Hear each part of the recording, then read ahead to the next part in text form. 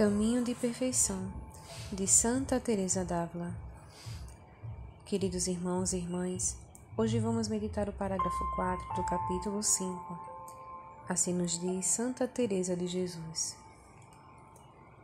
Isto de ter verdadeira luz para guardar a lei de Deus com perfeição é todo o nosso bem.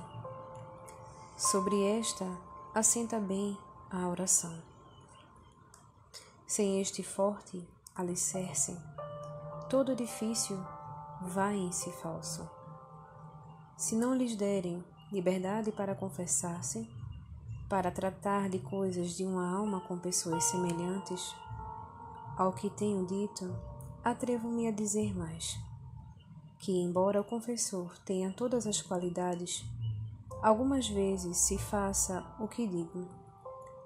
Pois bem, pode ser que ele se engane.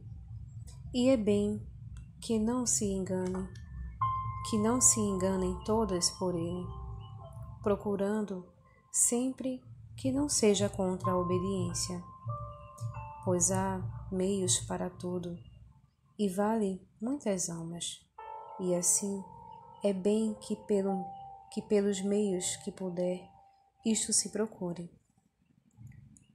Santa Teresa de Jesus rogai por nós. Em nome do Pai, e do Filho, e do Espírito Santo. Amém.